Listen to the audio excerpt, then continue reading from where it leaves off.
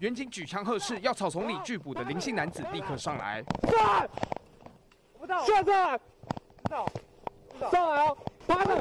爬了！遭到毒品通缉的林姓男子在被捕前早被警方埋伏锁定，他不仅拒绝盘查，还冲撞警车，远警立刻开三枪火速追赶，拒捕的男子无处可躲，弃车逃亡到老旧社区内的一处草丛，还是被远警合力压制。同伙的女性男子听到警方在逮人，想装没事从民宅后门逃出，被眼尖的远警逮个正着。你刚有看到宾士车走上去吗？没有，没看到。好，你报个称号好不好？两名被捕的男子身背多条通缉，警方在他们住处内还查获毒品。全案查扣 K 盘一个及毒品残渣袋等证物，那你依照毒品诈欺、毁损、伤害等通缉案件。